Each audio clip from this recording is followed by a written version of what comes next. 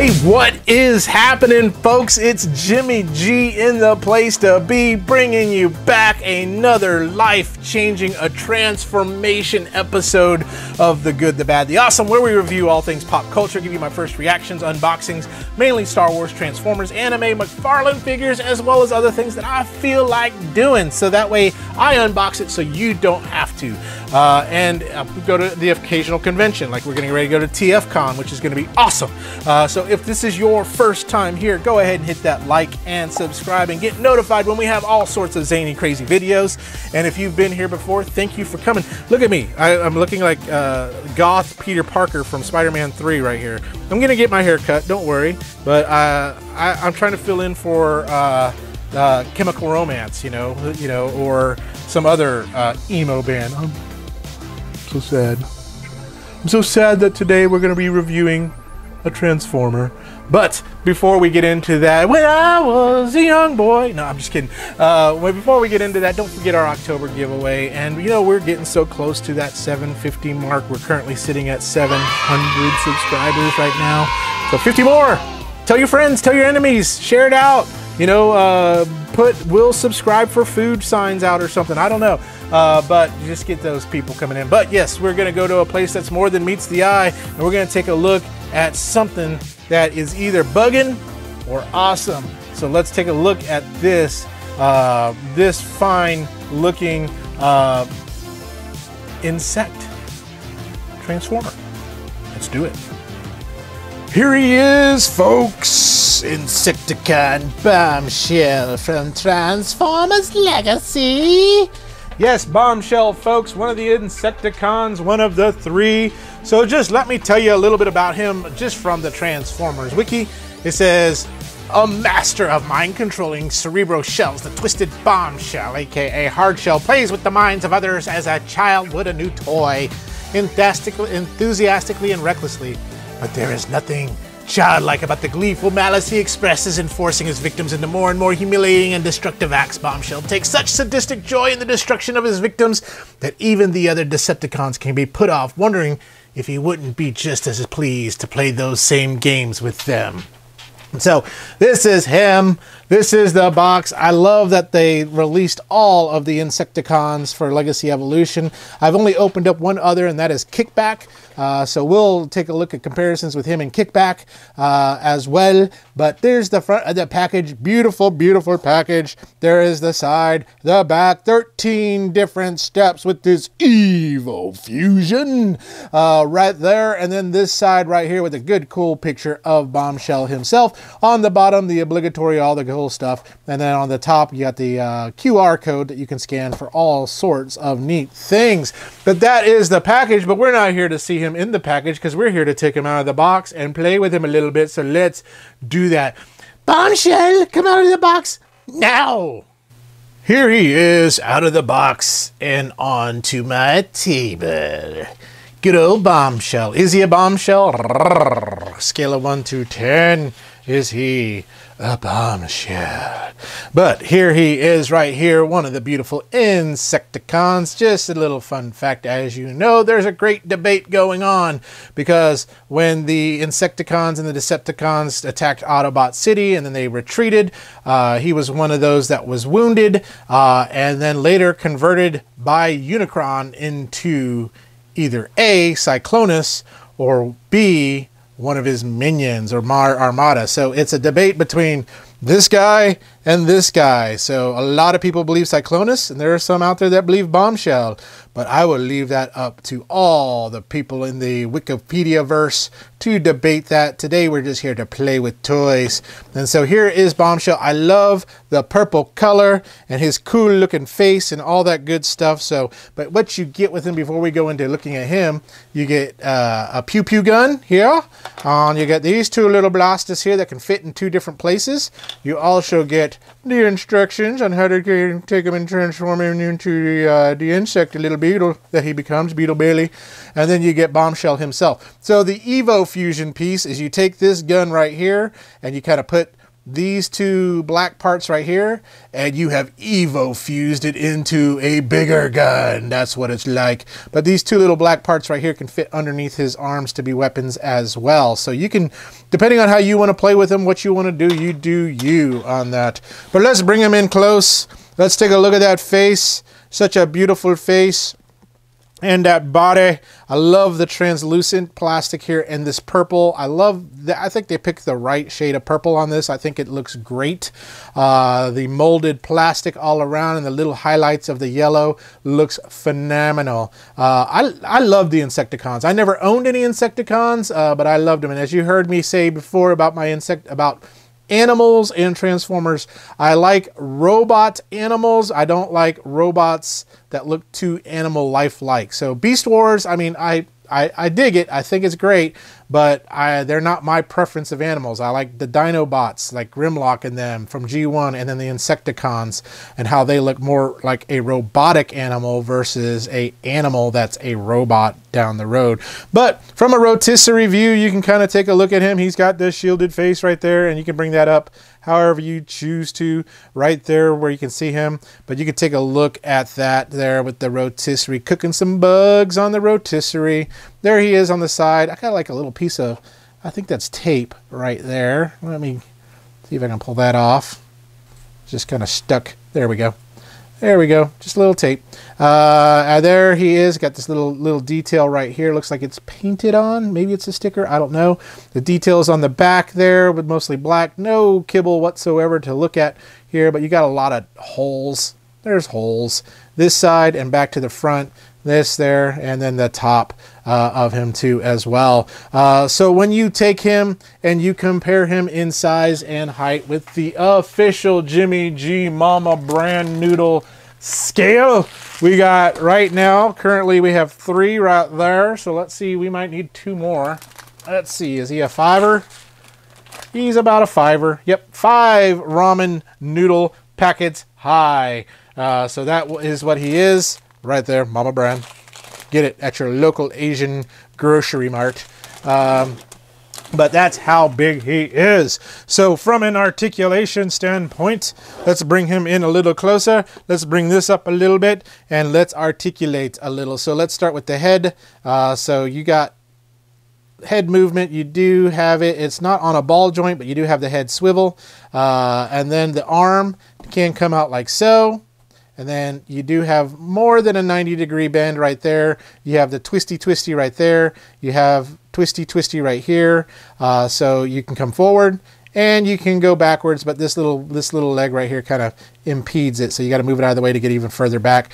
And you can kind of you can kind of see you can kind of pull that back even further, so to speak, uh, right there for his arm. And so we'll put that back where it needs to go. And actually, let's lift the arms up so that way we can start looking at the waist. Waist, no twist, no bend. Uh, so if you want him to bow, you have to do it from the legs right there. So no twist on the waist. And then the legs, you do have the Jean-Claude Van Damme that you can do uh, right there. And you have this twisty right here, twisty twisty. Uh, and then no twisty there.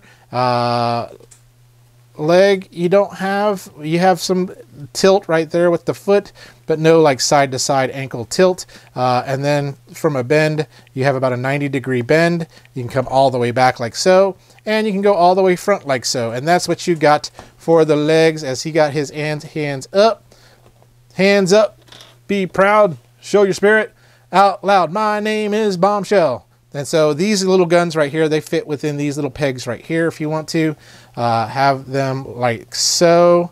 Uh, or like I said, you could have it uh, pegged into the gun itself and have that going uh, for you as well. So let's move that down so that way we can kind of see kind of like what that looks like. That looks kind of cool, right? And if I want to, I can still give him a gun with those other guns like so and so he can hold all the guns. All the guns. He has all the guns. Uh, so let's do this. Let's compare him to some other figures that I do have to show you. Let's bring in the group. And here's the party with Bombshell. So his fellow Insecticon kickback that I have already opened up. So really, really cool. Then we have Shrapnel right here, who is the G1 Retro movie that I did a review on not too long ago. I'll put a link to that in the bottom. Core Skywarp, Cyclonus or Cyclonus, who knows. Uh, that we have the New Age Mirage. And then we also have Earthrise Optimus, Magic Squares, uh, Light of Victory Optimus. And then we have Nova Prime here, just to kind of give you just a scale standpoint. So if I wanted to scale him from a legacy standpoint, it would be, you know, I'll take all these guys out and, oh, puppy. And there you got him, scaled from a legacy standpoint. So let's take a look and see how he looks uh, transformed. Actually, before we transform him, there he is with his buddy Kickback. I just wanted to show you. I love how all the purples match. I love the translucent on Kickback and the translucent bodies on both of these guys. But looking very phenomenal. Phenomenal together, brothers. Right here, ready to eat Energon. So, Kickback, let me move you to the side. And let us transform Bombshell now. And here you have Bombshell. Good old Bombshell in his Beetle Bailey mode. He's a beetle. Uh, he's not a dung beetle.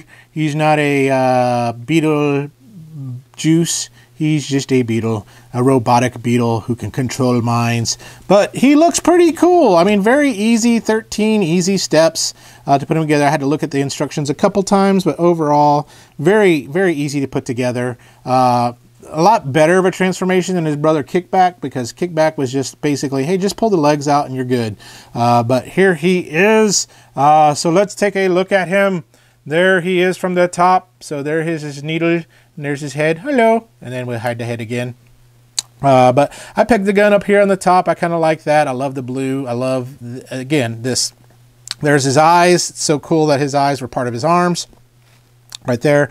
Love this piece. Uh, he he does have a bit of a butt so he's got some junk in the trunk here. Uh, so yeah just a big badonk a donk. There's the bottom. Those two little guns kind of fit here to act as his other his hind legs. Uh, and then here is the dead beetle. The dead beetle. There roaches check in but they don't check out. And then back to the top there's the butt beetle butt. And then the beetle front right here. And so when you look at him from a Mama Ramen scale, we bring in the Mama Ramen. So, oh, bring in another pack of Mama Ramen. He is approximately one ramen pack long. And then when you send him to the side, he is uno. And then he is dos, two ramen packs high. But uh, let's do some comparisons with some other alt modes uh, right now. Here he is with his brother, Kickback. Kickback all together right here. Like I said, Kickback was just like, hey, why don't you just lay down, let your insect legs come out, we'll move your hands in, and there you go. That's that's him. That was how easy Kickback is to transform. And then here from the side, you can kind of see the difference in the length. Here, Kickback is a little taller, Bombshell's a little shorter. My dog is running around making clickety-clack noises, uh, but I, I, like putting these on here, and I put the gun right here. I don't think you're supposed to, but I did. I think it's cool. Uh, but that's what they kind of look like together here. And so let's kind of pull this up a little bit and bring in some other vehicles for comparison. So first of all, let's bring in a big old Grimlock right there. Me Grimlock, me king.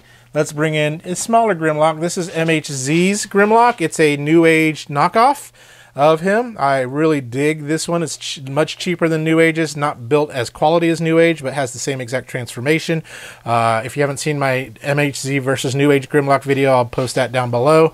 This is Core Class Bumblebee right there, and then we have good old Blitzwing. So you can kind of see how they all kind of look together in Bombshell. Uh, Bombshell really, really does do a better job with the legacy stuff uh, in his kind of element there. So let's do this. Get out of here, Grimlock. Let's bring uh, Bombshell back up close and personal. And what we'll do is we'll uh, give you some of my final thoughts on the Bombshell. And welcome back. So, final thoughts on Bombshell. Let me bring him in. I, I, I this is my dilemma with my robotic animals is I don't know whether I want to keep them in alt mode or in robot mode because both of them look great.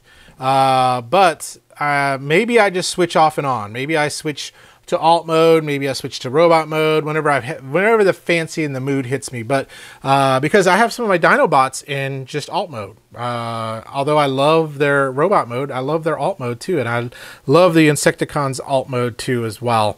Uh, like I said, I never had these as a kid. I wish I did. They would they were great. Uh, they looked awesome, and they're you know again just looks really cool. Now, one thing of note, I said earlier in my video, uh, he didn't have a waist swivel. He does have a waist swivel. It was just really really tight, and I couldn't get him to do that. So you could see probably in one of my poses, I'll have his waist kind of swiveled a little bit that you'll see at the end of the video. Uh, but uh, I really, really dig him. And let's bring in his brother, uh, Kickback. And so Kickback used to stay in robot mode, but I think he may stay in alt mode as well.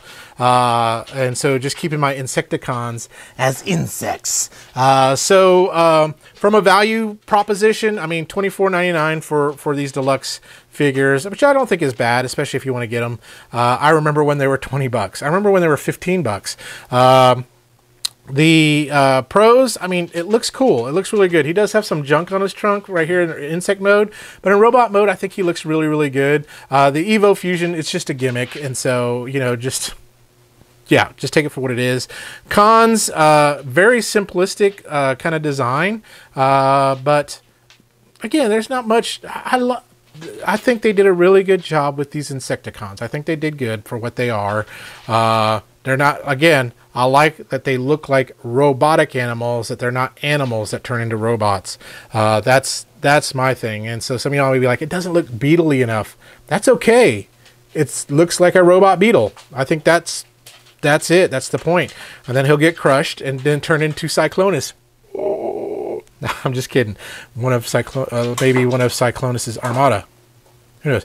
But it's weird. Everyone's kind of like talking through it. G1 was full of all sorts of continuity errors, so don't even get into that. So on a scale of good, bad, awesome, uh, I think this guy is pretty awesome. Not not totally awesome, but pretty awesome for a bug. Uh, and uh, it's tough to be a bug, you know.